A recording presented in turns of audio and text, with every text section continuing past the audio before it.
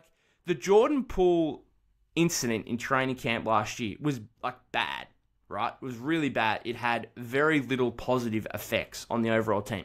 For Draymond specifically, I actually think that if that whole thing didn't happen, Draymond might have been worse last season. Draymond was arguably, I think, the Golden State's second most important player last season behind Steph. He played, re- he had a really good season, a really good season. And you know why? And what a big part of it was. One, it was kind of a contract year. I know he had obviously the option for next season, but all along we know that he wanted to opt out and get longer term security, which he ultimately did. Um, and as I said, he did that because he put the work in. He knew that he had to earn back the respect of his teammates, the coaches, everyone, earn back the respect of the NBA world on the floor after what everyone had just seen him do to one of his younger teammates in training camp. Like that had that that was a motivation. That incident. Now, it was terrible. It was shocking. He should definitely not do it ever again in any circumstances. However, it was actually a source of motivation, I believe, in him playing better last season.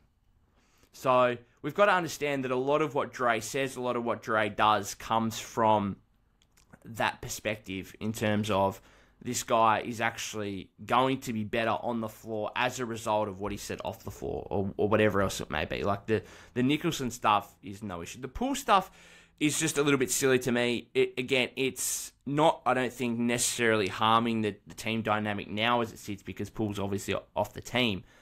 Uh, I do think it's painting Draymond in a bad light. And if he's looking out just after his own reputation, then those comments tarnished his own reputation. And we know he's got a pretty controversial reputation as it is. Like it's, and I'm sure everyone who's been in any kind of long term relationship before, if you are in a relationship and you go your separate ways or whatever, if one person just like moves on with their life, like doesn't say any, really anything about it, it's just, you know, quiet, goes off, does their own business, that's that, end of story.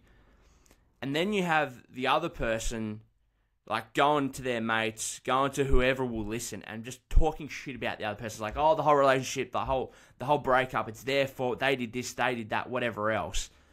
I can guarantee you, and I'm sure everyone can guarantee that the person who's talking shit and the person who continues to want to talk about it is the person that looks bad compared to the person who is just done with it and wants to move on.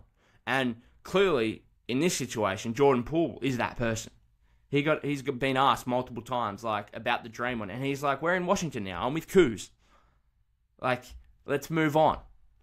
And that's painting him in a much better light than Draymond, who just wants to rehash the whole incident again and wants to say, "Oh, well, no, it wasn't inst- an instant reaction. You know, I wouldn't just hit a teammate off the cuff like that without, you know, any prior." Um, incidents happen, happening. And when I, I, mean, I say incidents, clearly like trash talking back and forth, whatever else.